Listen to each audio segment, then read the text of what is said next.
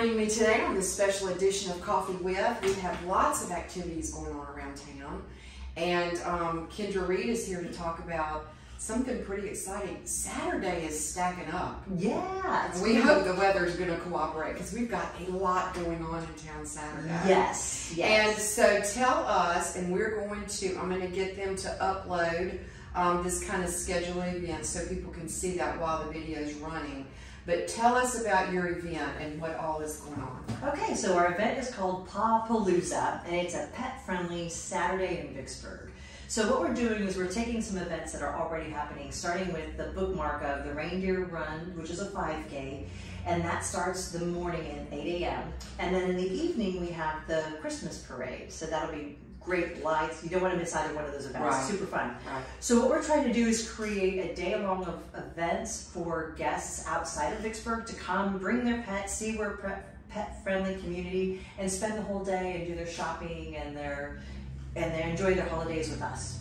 Okay, so you kind of have a schedule Yeah. of different things that are going on, and if you can kind Yeah. of go through some of that and hit the high points, Sure. and then we'll, like I said, we'll put this on the screen. Okay, so what's super fun is we've got several businesses are offering discounts if you bring your pet, so that's Right. kind of fun. Yeah. And a lot of the um, businesses are putting out little dog dishes, so you can have like a, a pub crawl for pets, kind of a fun thing. Yeah. Um, I personally am hosting the bacon hunt at Washington Park. Instead of an Easter egg hunt, we're going to have a bacon hunt. So we're going to have bacon spread out in the yard, and the dogs can come and, and uh, That won't last long. that won't last long. That'll be fun. Uh, we have the Strand has a three o'clock cat film, so that one's not your pet's not allowed to go to that, but you can go in and watch cat film. Yeah, but I've been reading about That sounds hilarious. It's gonna be a riot. Oh Oh, yeah, it's gonna be fun. Really So Levee Street Market has an open house that day. You can have your pictures taken with Santa.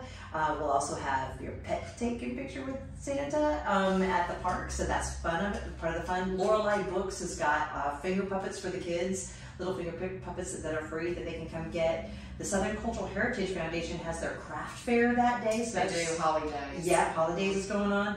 Cocktails 101 is going to be open for lunch, so if you're looking for a good lunch spot, that's another one. Key City is another one that will be open. So All great it's places. terrific. The library is going to have free hot coffee, so it's just going to be super fun, and we just hope that people will come and enjoy it. Like I say, John Houston is offering a discount if you bring your pet into the new wine store. Yes. They will give you a discount. So- Lovely ones. Yeah, so it's for people too. Okay, so this is Saturday, December the 3rd, and it's um, the reindeer run, I think, starts at 8 o'clock. Yes. And so this, all the pet stuff will be going on all day long. Exactly. In fact, the reindeer run, they often recruit people to run with their pets. Right. So that's kind of part of the yes, yes. fun. And yeah, so this is, yeah, the whole day long, just pet friendly and fun events. And one other thing we're doing is we have, if you see around town these dog dishes, they have a little note on them that says if you'd like to donate to either the animal shelter or the Humane Society, we're collecting on both of them for their behalf. for yes, Christmas. they always need help. Throw your spare change if you see the dog dish around. Absolutely. Well, thank you for putting all this together. Hey, our pleasure. Okay. Thank you, Robyn.